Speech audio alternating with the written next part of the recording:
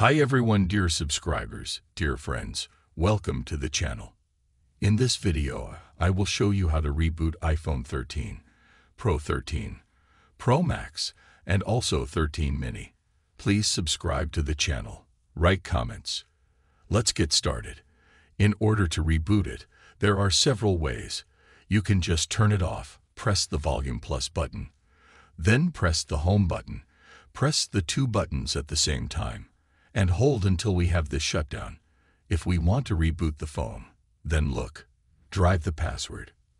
After that, we must press the volume button plus once, the volume button minus, and press this button, and wait until it does not appear the Apple logo.